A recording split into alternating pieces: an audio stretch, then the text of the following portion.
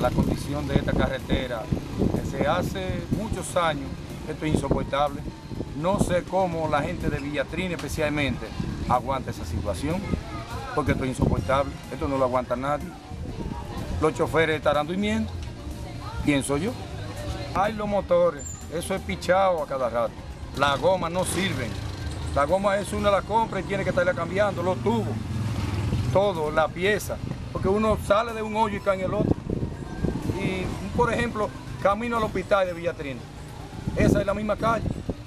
Eso da vergüenza un hospital como está de Villatrina así. Vergüenza debería dar. Eso es insoportable, señor. Eso hay que arreglarlo, eso no puede seguir así. Ya esta carretera, yo diría que habría que hacer algo, porque es tanto lo que uno cruza por ella.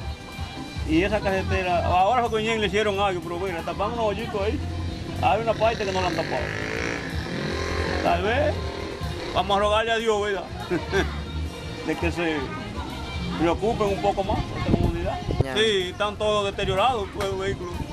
Pero, eh, vamos a ver si con la guardia de Dios, ¿verdad? La carretera está hecho un callejón, que está todo en Mijagá y los volteos están acabando de, de Mijagá.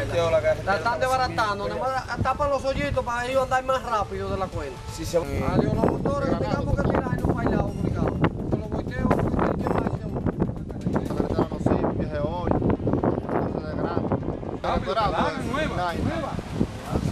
Hay que hacer la carretera. pues, Hacer la carretera, y limpiar, toda la, la, la acera, que están llenas de, de hierba. De hoyo, llenas de hierba, de tierra, de, están todas llenas de aquí para arriba, todas. Y un lío de zanja que hicieron cuando estaban haciendo los, los. Una producción de NJ Productora. Acceso sin límites.